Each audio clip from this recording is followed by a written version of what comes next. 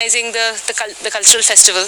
And so in the festival uh, they had a mr HCU and a miss HCU uh, category.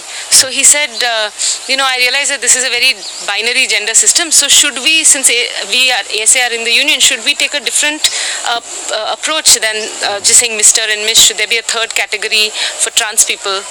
So i said you can you can have a third gender column. You can make it clear that the mr and miss categories are both based on self-determined gender and not based on you know a biological binary notion of biological.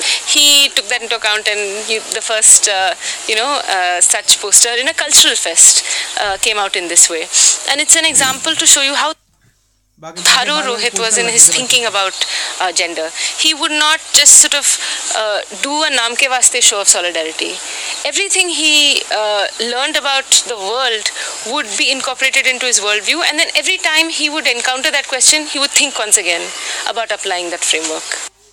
Not just in Central University. Rohit had to suffer this caste discrimination throughout his life, ever since he was born. Even in his graduation at Hindu College, he had a great pain and was denied by students and faculty. ये discrimination तो ये, अ, चलती है फिर लगी रहती है